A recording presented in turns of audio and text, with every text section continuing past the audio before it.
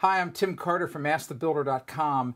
This is a 14-3 with ground electrical cable. The reason it's called that is because inside this white plastic outer covering, you'll find three 14 gauge electrical conductors and one 14 gauge ground wire. If you want to discover more home improvement tips, go to AskTheBuilder.com.